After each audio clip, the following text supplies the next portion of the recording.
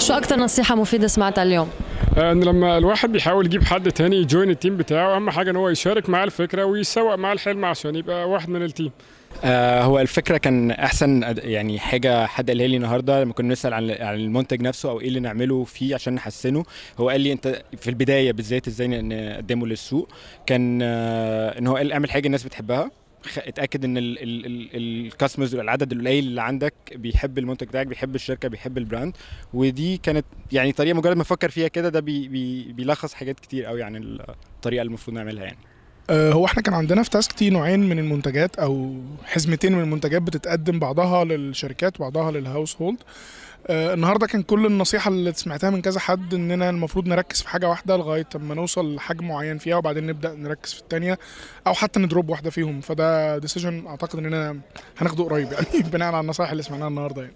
آه، أفضل حاجة سمعتها النهارده كانت من رونالدو اللي هو ال founder بتاع سوق dot com آه، وكانت لو عندك حاجة عاوز تعملها ابدأ اشتغل ما تستناش وريني حاجة الأول وبعد كده نتكلم.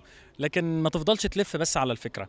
آه لما تيجي تشتغل مع شركات آه كبيرة ما تتأثرش قوي بالأسامي اعمل الصح للشركة بتاعتك. آه، يعني كان في نصايح كتير هايلة جدا النهاردة. يمكن النصيحة الكبيرة كانت إنه كانتربرينور أو كرائد أعمال ال- الموضوع صعب جدا. الموضوع مش بالسهولة اللي ممكن الناس تكون متصوراها. الموضوع مش هي بس المرحلة بتاعه النجاح الفظيع اللي بيحصل في الآخر.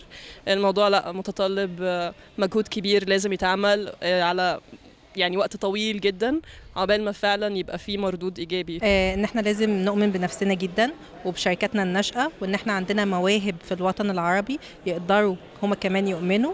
وبكده هنقدر إن إحنا ندفع شركاتنا الناشئة لقدام.